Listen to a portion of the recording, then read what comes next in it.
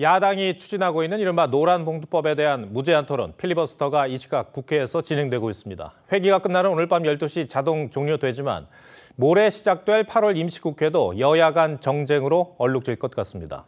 민주당의 특검과 국정조사 공세에 맞서야 하는 국민의힘 한동훈 대표는 넘어야 할 산이 많습니다. 이태희 기자가 보도합니다.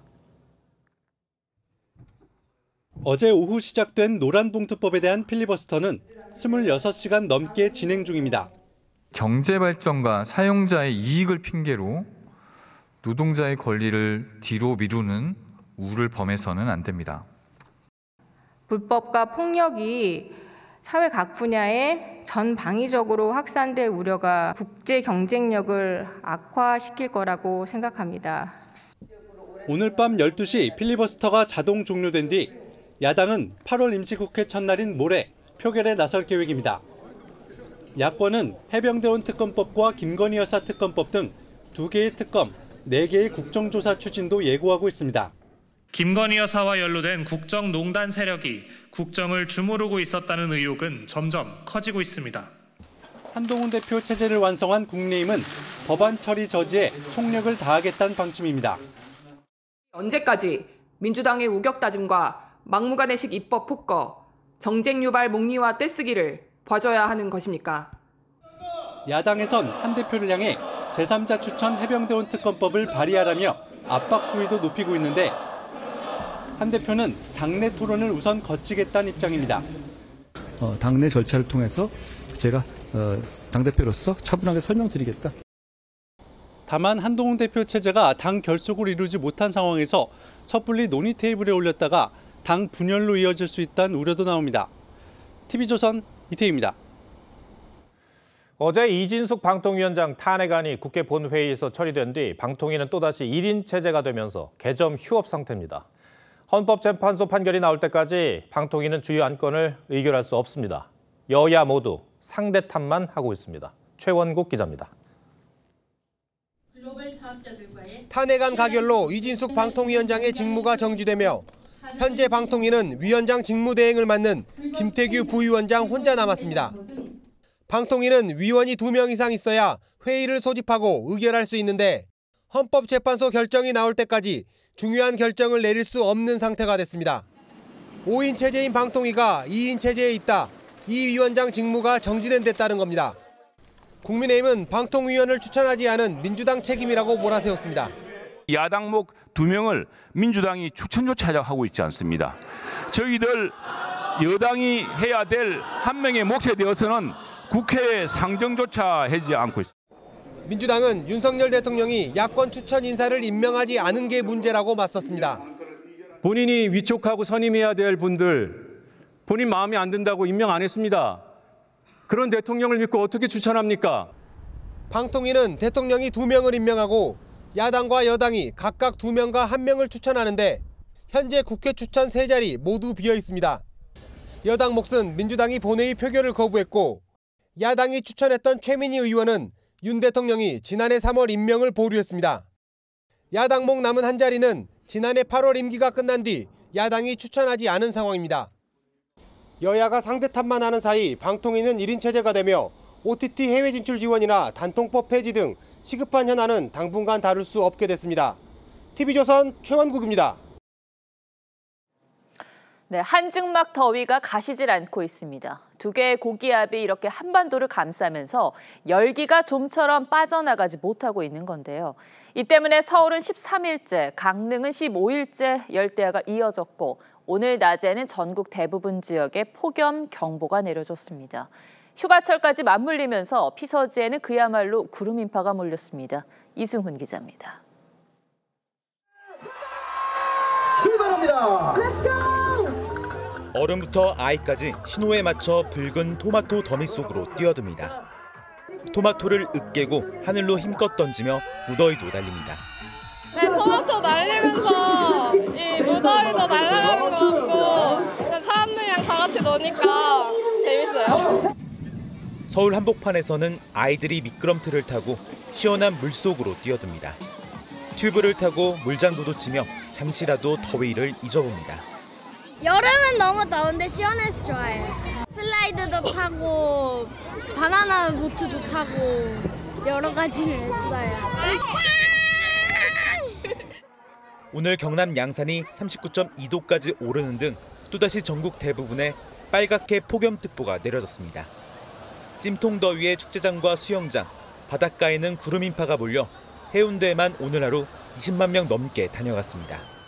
오늘 폭염이라 더웠는데 바다에 들어가니까 너무 시원한 것 같습니다. 현재 한반도 상공의 고온의 북태평양 고기압과 티베트 고기압이 겹쳐져 있는 이중 열커튼 현상이 이어지고 있습니다. 이 때문에 기상청은 낮에는 체감온도 35도를 넘는 폭염이 밤에는 기온이 25도 밑으로 떨어지지 않는 열대야가 당분간 계속될 것으로 전망했습니다. TV우선 이승훈입니다.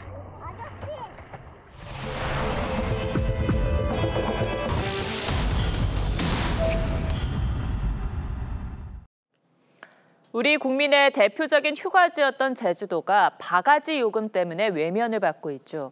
위기감을 느낀 제주도는 피서철 가격 인하 정책을 발표하기도 했습니다.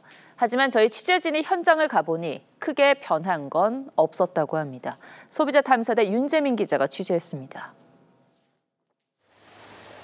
제주도는 지난달 23일 피서철 요금 인하를 발표했습니다. 여름철 성수기를 맞아 이용객이 몰리는 해수욕장의 파라솔과 평상 가격을 인하했습니다. 주요 해수욕장 10곳의 파라솔 대여료를 하루 2만 원 이하로 묶겠다고 했지만 현장 사정은 달랐습니다. 제주공항에서 5km 떨어진 해수욕장입니다. 파라솔을 3시간 빌리는데 2만 원을 요구합니다. 해수욕장 주변엔 2시간당 2만 원이라는 안내판까지 버젓이 걸려 있습니다. 제주도는 하루 6만 원이 넘는 바닷가 평상 대여료를 절반으로 낮추겠다고 했지만 현장에선 대놓고 무시합니다.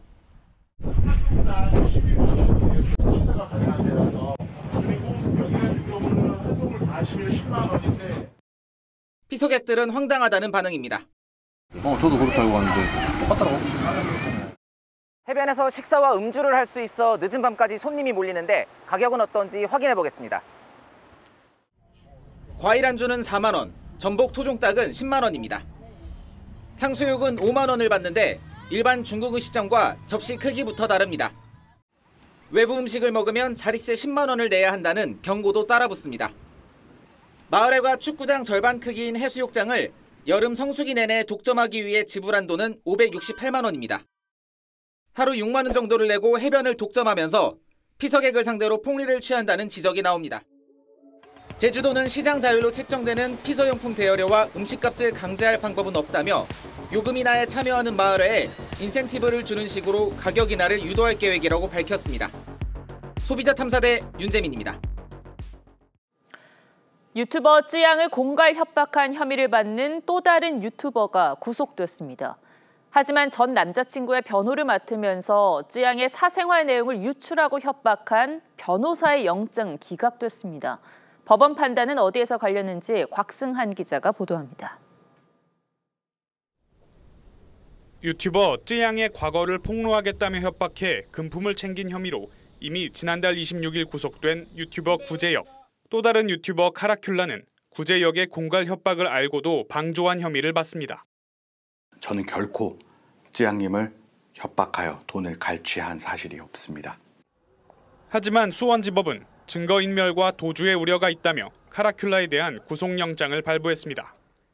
카라큘라와 함께 영장이 청구된 최모 변호사는 쯔양 전 남자친구의 변호를 맡으며 알게 된 쯔양의 사생활 관련 내용을 구제역에 넘기고 쯔양을 협박해 2천만 원을 갈취한 혐의를 받습니다. 그러나 법원은 범죄 성립 여부에 다툼의 여지가 있고 증거인멸 우려가 적다며 기각했습니다. 쯔양은 일부 유튜버들로부터 제기된 명의 도용과 임신 중절 수술 의혹 등에 대해 추가로 해명했습니다. 이번에 처음 알게 됐습니다. 제가 몰랐더라도 명백히 법을 어긴 거기 때문에 그에 따른 처벌은 달게 받겠습니다. 전 남자친구의 성폭행 정황이 담긴 녹취도 공개한 쯔양은 원치 않는 임신이어서 중절 수술을 받았다고 밝혔습니다. TV조선 곽승환입니다. SNS에서 이른바 룰렛 계정으로 돈을 가로채는 신종 사기가 성행한다는 뉴스 보도해드렸는데요. 이런 사기성 룰렛 계정이 한 SNS에서만 50여 개가 넘습니다. 그런데 피해자가 신고해도 계정은 버젓이 살아있고 어떤 조치도 이루어지지 않고 있습니다. 문제는 달라질 기미가 없다는 점입니다. 구자현 기자가 취재했습니다. 유명 SNS에서 룰렛이라고 검색하니 50여 개에 달하는 계정이 나옵니다. 하나같이 돈을 보내주면 최대 100배까지 당첨금을 주겠다는 식으로 사람들을 유인합니다. 하지만 당첨금은 지급되지 않고 환불 요구에도 이런저런 핑계만 대며 꿈쩍하지 않습니다. 그 사장은 따로 있고 그 친구들이 그 일당의 직원들인 것 같아요. 뭐 휴를 하더라고요. SNS 약관에는 사기적 행위를 금지한다고 돼 있지만 피해자가 SNS 운영업체에 신고해도 계정은 여전히 운영되고 있습니다. 불법 사이트 접속을 차단할 수 있는 방송통신심의위원회 관계자는 이런 불법 룰렛 계정을 인지하고 있고 통신심의 소위원회에도 비슷한 종류의 안건이 올라와 있다고 밝혔습니다. 하지만 계정 삭제와 수사 협조 등은 해외 SNS 운영업체가 나서지 않으면 불가능합니다.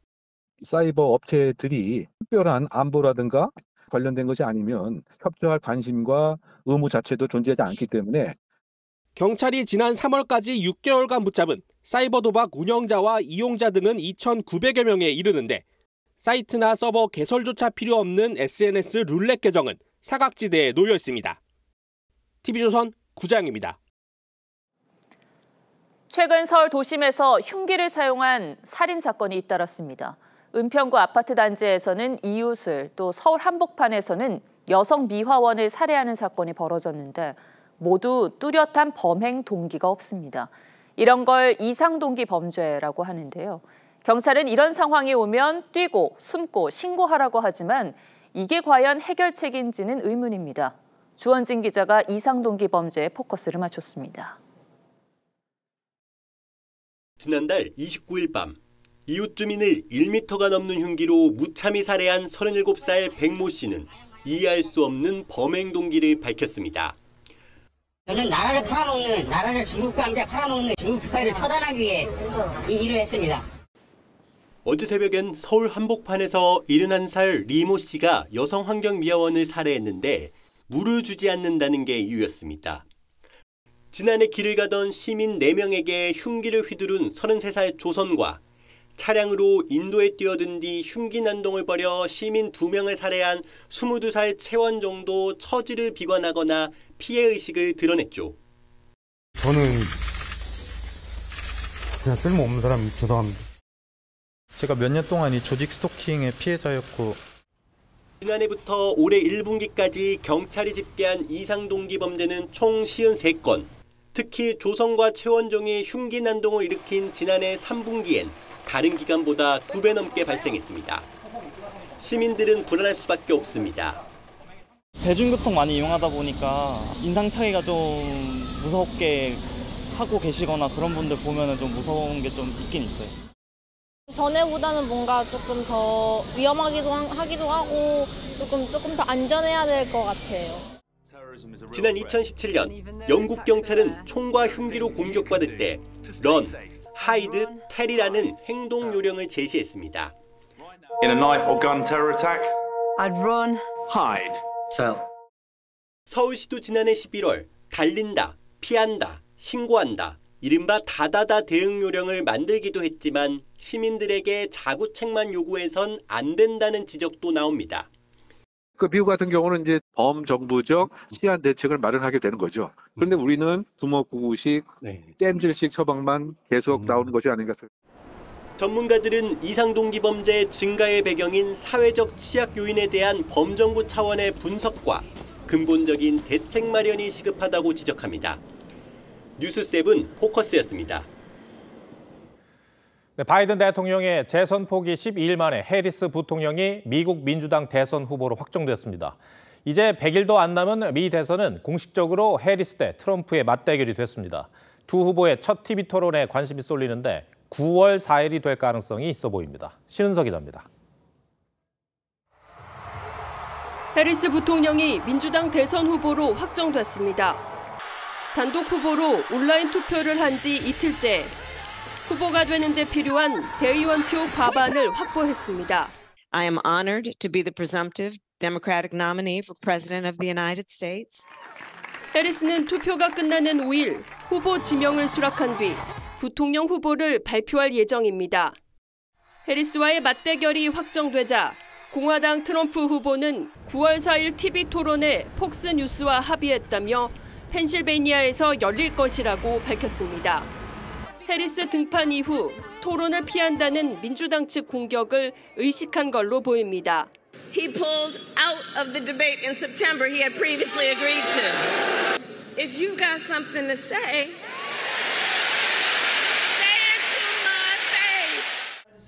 다만 바이든 대통령과 합의한 9월 10일 ABC 방송 대신 자신의 우호적인 방송국을 택했고 1차 토론과 달리 청중도 있을 것이라고 했습니다.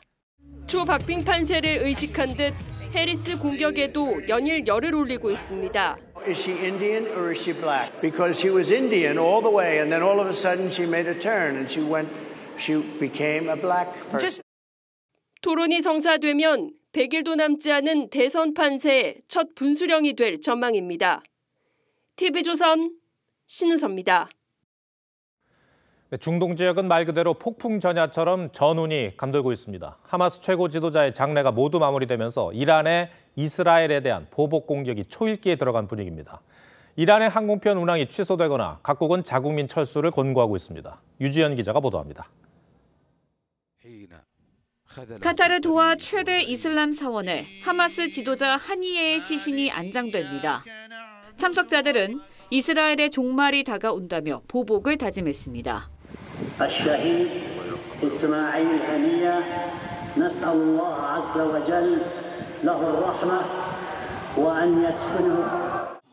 장례식이 마무리되면서 이스라엘에 겨냥한 이란의 보복도 임박했다는 관측입니다. 미국은 중동 지역에 공군과 해군 추가 배치를 결정했습니다. The secretary reiterated ironclad support for Israel's security. 각국은 중동행 항공편을 취소하거나 자국민의 철수 권고를 내리고 있습니다. 독일, 이탈리아와 미국 등의 항공사들은 이스라엘 항공편 운항을 중단했고 캐나다와 싱가포르 항공사들은 이란 영공을 우회하거나 이용하지 않기로 했습니다. A flight is delayed, but we'll see. We're waiting our flight by by London, but um, we're waiting. 프랑스는 이란의 여행 적색 경보를 발령하며 자국민 철수를 권고했습니다.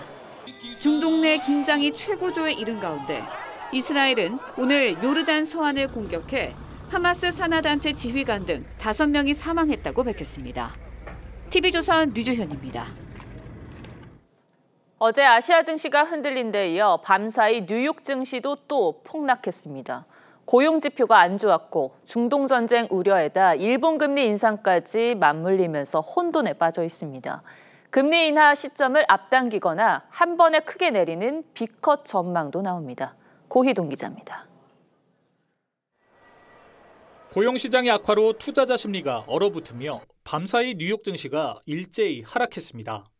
다우 지수는 전장보다 1.51%, S&P 500 지수와 나스닥 지수는 각각 1.84%, 2.43% 떨어졌습니다. 특히 나스닥 지수는 지난달 고점 대비 10% 넘게 하락하며 조정 구간에 진입했다는 평가입니다. 앞서 미국 노동부가 발표한 지난달 실업률이 2021년 10월 이후 가장 높은 4.3%를 기록하면서 경기가 당초 예상보다 빠르게 식어가는 것 아니냐는 우려가 커진 겁니다. 미국 최대의 반도체 기업 인텔은 2분기 실적 부진과 함께 주가가 26%가량 급락했고 아마존 주가도 8.8% 떨어졌습니다. 가상화폐 대장주인 비트코인은 5% 넘게 하락하며 6만 2천 달러 아래로 내려앉았습니다. 앞서 미 연준은 9월 금리 인하를 공식 시사했는데 If that test is met, a reduction in our policy rate could be on the table as soon as the next meeting in September. 고용과 제조업 지표 모두 예상치를 밑돌면서 연준이 한 번의 금리를 0.5%포인트 낮추는 빅컷에 나설 것이란 전망이 잇따르고 있습니다. 다음 주 발표되는 미국 생산자 물가지수와 소비자 물가지수가 큰 변수가 될 것으로 예상되는 가운데 미국 연준의 금리 양방에 전 세계 금융시장이 촉각을 곤두세우고 있습니다. TV조선 고이동입니다. 주말 농장이 활성화되면서 농막을 두고 고심해왔던 정부가 취사와 취침이 가능한 농촌 체류형 쉼터를 도입하기로 했습니다. 이게 뭔지 또 기존 농막과는 뭐가 다른지 산업부 장혁수 기자와 따져보겠습니다. 자, 장 기자, 일단 농막이 뭡니까? 네, 농막은 농기구나 수확한 농산물을 보관하고 농사 작업 중에 잠시 쉬는 용도로만 쓸 수 있는 간이 시설물을 말합니다. 연면적이 20제곱미터, 평수로는 6평을 넘으면 안 되고요. 주거나 상업 목적으로 쓸 수 없는 대신 보유주택 수에는 포함되지 않습니다. 양도세와 종부세 등 부동산 관련 세금도 부과되지 않습니다. 그런데 이 농막에 뭐가 문제가 있었습니까? 네, 주말 농장 인구가 늘면서 이 농막에서 불법으로 취사를 하거나 별장처럼 꾸며놓고 이용하는 사람들이 크게 늘었습니다. 2022년 감사원 감사에서는 농막 3만 3,140곳 중에 절반 이상인 17,149곳이 불법 시설물로 드러나기도 했습니다. 현재 전국에는 이런 농막이 18만 채 정도가 있는 걸로 알려져 있습니다. 그래서 정부가 이 농막 사용을 규제한다고 했었던 것 같은데 지금 상황이 달라졌습니까? 네, 감사원 지적이 나오자 정부는 농지 면적에 따라서 농막 규모를 제한하고 야간 취침도 금지하는 규제안을 발표했는데요. 농촌 소멸 위기에 대응하지 못하는 과잉 규제다. 또 주말 농부의 현실을 외면한 정책이라는 거센 비판을 받았습니다. 규제안을 보류한 정부가 결국 1년여 만에 입장을 바꿔서 이번에 농촌 체류형 쉼터를 도입하기로 한 겁니다. 어, 쉼터라고 하면 기존에 말한 이 농막과는 뭐가 다른 거죠? 네, 12월부터 허용되는 농촌 체류형 쉼터는 기존 농막과 다르게 숙박이 가능하다는 게 가장 큰 특징입니다. 농막보다 큰 연면적 33제곱미터 10평까지 조성할 수가 있고 편의를 위해 정화조와 주차장도 설치할 수가 있습니다. 기한을 연장하면 최장 12년까지 쓸 수도 있습니다. 다만 비농업인이 별장처럼 이용하는 행위를 막기 위해서 시설을 포함한 두 배 이상의 농지에서 실제로 농사를 지어야 하는데요. 농림부 설명 들어보시죠. 쉼터나 뭐 이런 것들 제외하고 나머지는 농지법상에 그 영농을 하도록 그게 의무화가 되어 있습니다. 그래서 거기에 작물 재배가 의무적으로 동반되어야 되고요. 네, 뭐 주말 농부를 꿈꾸는 이들에게는 반가운 소식일 텐데 농사 짓는 걸 의무화한다고 해도 제대로 관리 감독이 이루어질까요? 맞습니다. 정부도 모니터링이 어려운 부분은 인정하고 개선해 나가겠다고 했는데 농촌 주민들 사이에선 이 쉼터를 불법 임대하거나 투기 대상으로 악용하는 사례가 나올 거라는 우려도 제기됩니다. 그 사람들도 그러니까 주말에 나 왔다가 그래요. 유대도 안 되고 잘 안 지켜지죠. 자, 한 가지 또 궁금한 게 생겼는데 기존 농막은 철거를 해야 되나요? 다시 만들어야 되는 겁니까? 그 부분 궁금해 하시는 분들이 많은데 그건 아니라고 합니다. 기존 농막도 입지 등의 기준을 충족하면 3년 안에 신고할 경우 쉼터로 바꿀 수가 있습니다. 네, 그렇군요. 갈수록 쇠퇴하는 뭐 농촌 문화를 바꿀 수 있는 계기가 됐으면 좋겠습니다. 장 기자 잘 들었습니다.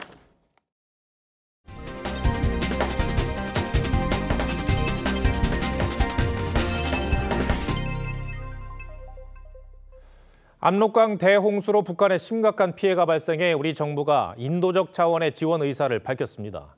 북한이 오늘 냉담한 반응을 내놨습니다. 우리 정부가 수해 사망자 수를 최대 1,500명으로 추산하고 있다는 내용을 보도해드렸죠. 북한은 날조된 여론이라며 적은 변할 수 없는 적이라고 맹비난했습니다. 김충영 기자 리포트 전해드리고 뉴스야 이어가겠습니다. 북한 신의주와 의주 수해 지역에서 대형 헬기들이 고립된 주민들을 구출합니다. 김정은 위원장은 어제 구조에 투입됐던 헬기 부대를 방문해 구조 활동을 격려한 뒤 대남 메시지를 내놓았습니다. 인명 피해가 1000명 또는 1500명이 넘을 것으로 추측된다고 구조 임무 수행 중 여러 대의 직승기들이 추락된 것으로 보인다는 날조된 여론을 구조 작업 중 헬기 한 대가 불시착한 사실은 있지만 조종사는 무사했고 주민 피해도 없었다고 강조합니다.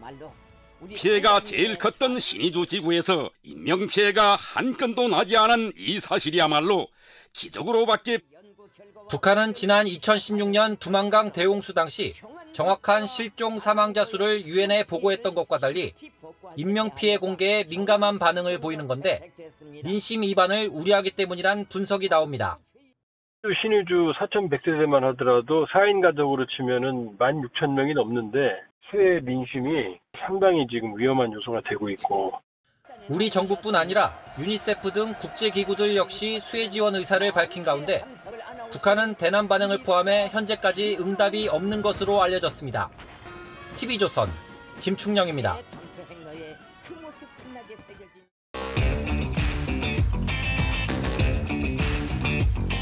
뉴스야 시작합니다. 정치부 한송원 기자 나와 있습니다. 첫 번째 물음표 볼까요? 예, 첫 번째 물음표는 커지는 필리버스터 무용론입니다. 네, 지금도 국회 본회의장에서는 필리버스터가 진행되고 있죠? 예, 이 노란봉투법 통과를 막기 위한 국민의힘 2박 3일 필리버스터 오늘 밤 자정에 종료되는데요. 이 지난주에도 이미 방송 사법 처리를 둘러싸고 5박 6일 필리버스터를 한 데 이어서 불과 사흘 만에 무제한 토론을 진행 중인 겁니다. 예. 힘들게는 하고 있는데 국민들 보시기에 눈살을 찌푸리게 하는 장면들이 참 많아요. 예, 저희가 본회의장에 직접 들어가서 의원들의 모습을 긴 시간 지켜봤습니다. 의원들끼리 조를 짜서 당번을 정하고 낮에는 보통 20명에서 25명 정도가 본회의장 자리를 지킵니다. 이 졸음을 쫓으려고 회의장 뒤에 서서 듣기도 하지만 책을 읽거나 이 명함을 정리하면서 시간을 보내는 의원도 있었고요. 이 한 달 전에 이 졸음 논란이 있었는데도 버젓이 자는 의원도 여전히 눈에 띄었습니다. 그리고 이 SNS 영상을 보면서 시간을 때우거나 뉴스를 시청하는 의원도 있었고요. 그리고 이 민주당 소병훈 의원은 책상 아래 스마트폰을 놓고 예능 프로그램을 시청하다가 이 논란이 되기도 했습니다. 이런 장면들 때문에 국민들에게 진정성이 얼마나 전달이 될까 싶어요. 그런데 어, 방송 4법을 두고도 필리버스터를 했는데 결국은 통과가 되지 않았습니까? 이걸 막으려고 했던 필리버스터인데 네. 그러니까 필리버스터 무용론이 나오는 거 아닙니까? 예, 사실 이 필리버스터는 여소야대 전국에서 여당의 유일한 무기다 이런 의미가 있습니다. 하지만 이 필리버스터를 해도 24시간이 지나면 민주당이 강제로 끝낼 수 있고 결과적으로 법 통과를 막지 못해서 여당 내에서 이 실효성이 있냐 이런 말들이 나오는 겁니다. 필리버스터 이후 법안 일방 처리 그리고 대통령 거부권 행사가 무한 반복될 수밖에 없다 이런 설명입니다. 당내 최다선인 조경태 의원은요, 지난 의원총회에서 무작정 필리버스터보다는 여당으로서 대안을 제시하는 게 바람직하지 않냐 이렇게 말을 했는데 이 중진 의원을 중심으로 신중하자, 힘을 아끼자 이런 목소리가 나오고 있습니다. 필리버스터가 그렇게 부정적인 측면만 있는 겁니까? 그런 건 아닙니다. 일부 의원들은요, 이 초재선 의원들과 중진 의원들이 이 서로의 생각을 알 수 있어서 단합에 도움이 된다 이렇게 말을 하기도 하고요. 실제 필리버스터 과정에서 생각을 바꾼 의원도 있었습니다. 앞서 김재섭 의원은요, 주진우 의원의 필리버스터로 해병대원 특검법의 위헌성을 추가로 확인해 반대표를 던졌다고 했습니다. 법체계도 위헌성 있는 조문도 하나도 없고 이게 다 맞다라고 생각한다고 하면 역설적으로 여기서 임명한 특검이 어떻게 결론 내겠습니까? 예, 또한 초선 의원들에게는 이름을 알릴 수 있는 기회의 장이기도 한데요. 국민의힘 김용태 의원은 방송 사법을 반대하는 토론을 13시간 넘게 진행해서 기록을 경신했는데 어제 박수민 의원이 25만 원 지원법 반대 토론으로 바로 기록을 깼습니다. 감사합니다.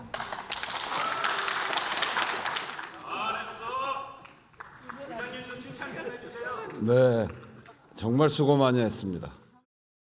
첫 번째 물음표 정리해 주시죠.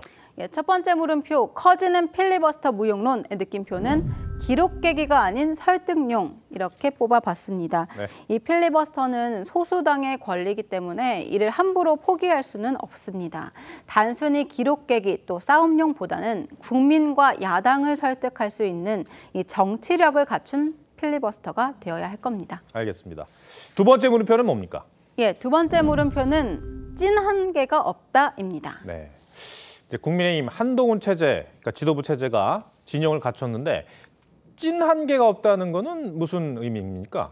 예, 친한계보다 더 강성인 인사들을 찐한계 이렇게 표현해 본 건데요. 우선 한동훈 체제 1호 인선으로 박정하 비서실장이 임명됐는데 상대적으로 개파색이 옅은 친한계로 분류가 됩니다.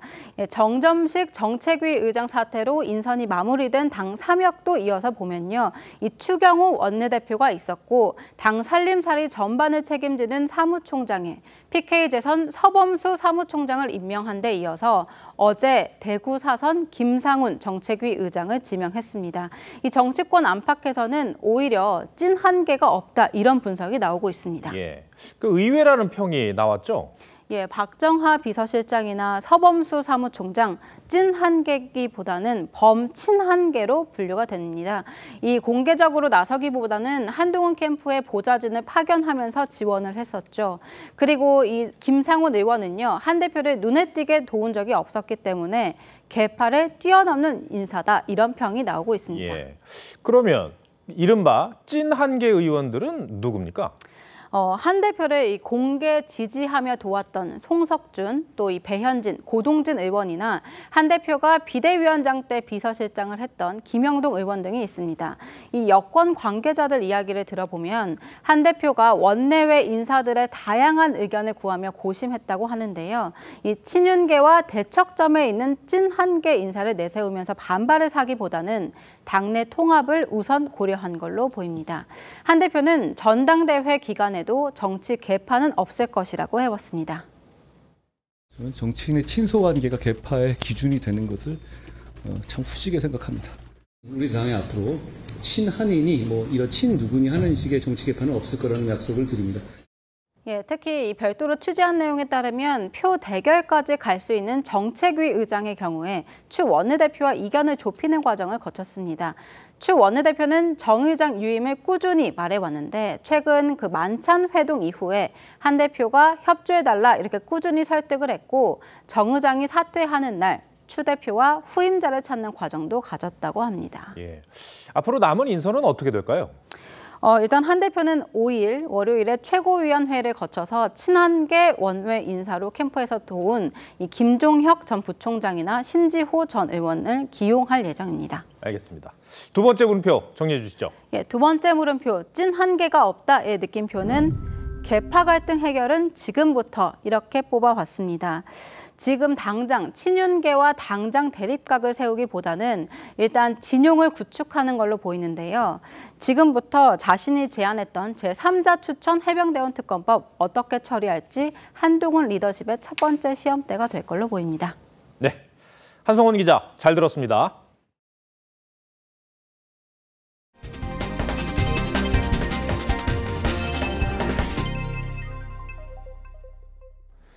파리에선 올림픽이 한창이지만 서울 상암에선 전에 없던 빅매치가 펼쳐집니다. 토트넘과 민현의 대결이자 손흥민과 김민재 선수의 맞대결이기도 한데요. 상암을 연결해 보겠습니다. 자, 성민혁 기자, 엄청난 더위인데 관중들은 많이 왔습니까? 네, 그렇습니다. 이곳 상암벌은 다시 한번 관중석을 가득 메웠습니다. 조금 전에 양 팀의 선발 라인업도 발표됐는데요. 가장 기대를 모았던 토트넘의 손흥민과 바이에른 미넨의 김민재 모두 선발 출격합니다. 폭염 경보에 손 선풍기는 쉴 새 없이 돌아가고 양상과 부채도 필수입니다. 하지만 강렬한 땡볕보다 더 뜨거운 건 축구 팬들의 열기입니다. 너무 뜨겁지만 여기 뜨거운 곳에서 열심히 달리실 선수들 생각하면 이 더위쯤 아무것도 아니게 두 눈으로 선수들을 볼 생각에 더위는 잊었습니다. 이 열기보다 이 경기의 열기가 더 뜨거울 거라고 생각 되기 때문에 지금은 하나도 덥지 않습니다. 그동안 태극전사 유니폼색으로 빨갛게 물들었던 상암벌이지만 오늘은 토트넘과 뮌헨 유니폼이 곳곳에 눈에 띕니다. 손흥민의 상징과도 같은 찰칵 세리머니를 따라해보고 김민재의 팀 동료 그나브리의 국수 세리머니도 선보입니다. 챔피언스 리그에서나 맞붙을 법한 두 명문팀이 서울 한복판에서 경기를 한다는 사실이 믿기지 않습니다. 굉장히 기대되고요. 이런 경기를 사실 서울에서 볼 수 있는 게 굉장히 행운이라고 생각합니다. 올림픽과 달리 시차도 없는 이곳 서울의 오늘 밤은 축구 팬들에게 성지가 됐습니다. 상암 월드컵 경기장에서 TV조선 성민혁입니다.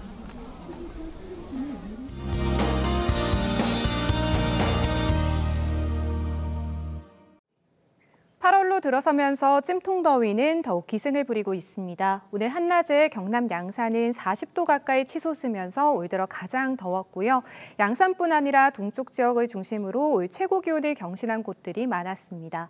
낮 동안의 더위는 오늘 밤 고스란히 열대야로 이어지겠고 휴일인 내일도 최고 체감 온도가 35도 안팎으로 치솟겠습니다. 폭염과 열대야가 장기화하고 있어서 건강관리 잘 해주셔야겠습니다. 내일 오전부터 오후 사이 전국 곳곳에 돌풍과 벼락을 동반한 소나기가 내리겠습니다. 내일 동해안으로 강한 너울성 파도가 유입되겠고 한낮에는 자외선이 강하겠습니다. 내일 아침 서울과 청주, 광주가 27도로 출발하겠습니다. 한낮에는 서울이 35도, 광주 35도, 창원 36도까지 오르겠습니다. 모레는 전국 내륙에 소나기가 내리겠습니다. 날씨였습니다. 일점에 꽂힌 화살. 그 흔한 가슴 보호대도 없던 아프리카 차드의 마다예 선수 점수입니다. 김우진 선수와 맞붙어 일찍 대진이 끝났음에도 출전 자체가 행복했고 경기 결과는 자랑스럽다고 했습니다. 아프리카 최빈민국에서 장비도 코치도 없이 독학으로 양궁을 시작한 그는 훈련장이 없어서 묘지에서 연습을 했다죠. 그래서 그가 쏜 1점은 가장 낮았지만 가장 가치 있는 점수였습니다. 룩셈부르크의 탁구 할머니 니시아리안은 61세 나이에 올림픽 무대에 섰습니다. 네, 도쿄에서 신유빈 선수와 대결했던 바로 그 선수입니다. 니시아리안은 세계 랭킹 1위와 만나면서도 그는 넘버원, 나는 only one이라며 자신의 출전 가치를 명쾌하게 높였습니다. 중요한 건 이기는 게 아니라 참가하는 것, 성공이 아니라 노력하는 것이다. 올림픽 정신의 근간이죠. 메달을 향한 열기와 환호가 가라앉고 전해지는 누군가의 도전 스토리들. 오래 남는 잔잔한 파동처럼 따스하게 퍼지고 있습니다. 뉴스 세븐을 마칩니다. 고맙습니다.